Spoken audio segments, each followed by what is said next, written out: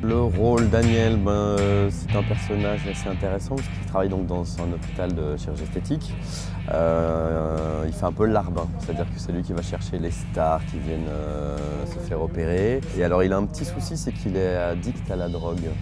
Et donc du coup c'est un peu le bon plan l'hôpital parce que du coup ben, il a plein de médicaments sous la main. Mais il doit faire ça très discrètement. Beaucoup de textes mais en même temps c'est,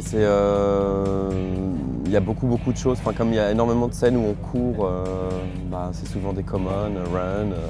Donc non au niveau du texte ça allait.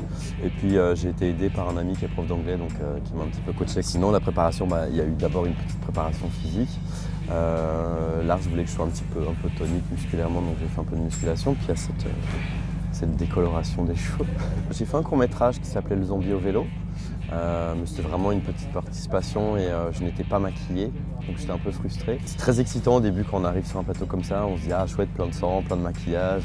Et en fait c'est assez contraignant, c'est-à-dire que c'est collant, c'est, euh, ça sent mauvais, euh, c'est froid.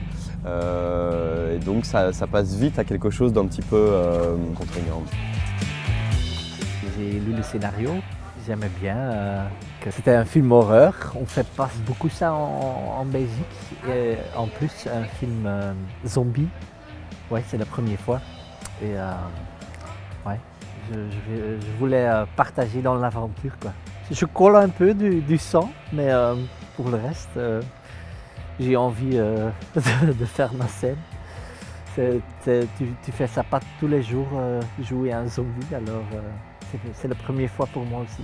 Bah, je joue quelqu'un qui est euh, connu.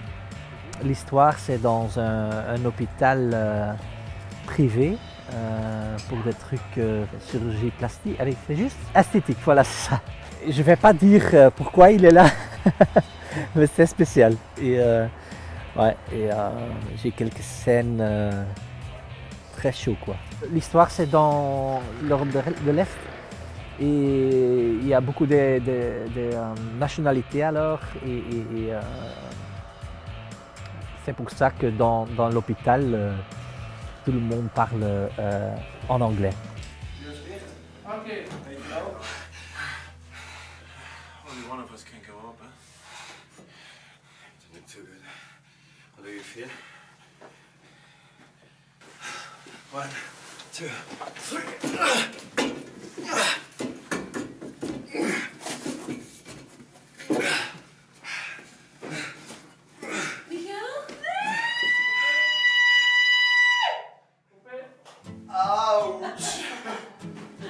C'est déjà le 20e journée aujourd'hui, alors euh, ça marche bien. On a filmé 18 jours euh, à Mosaïque et maintenant euh, deux jours à Namur. C'est loin, c'est toujours loin. Lars nous avait envoyé le scénario, on était immédiatement un peu...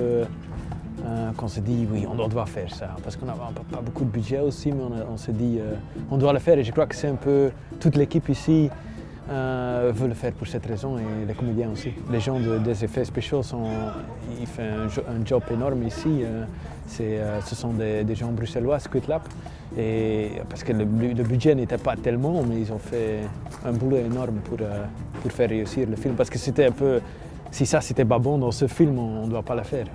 C'était déjà un- une année euh, très, très dure euh, et euh, le film va sortir, Yomi va sortir en décembre l'année prochaine et Torpedo en octobre, alors on sait quoi faire.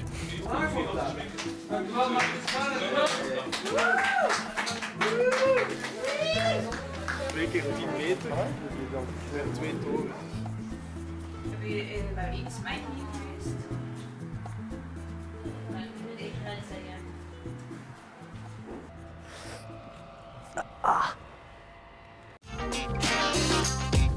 Filles ont besoin qu'on s'intéresse à eux, vous le savez.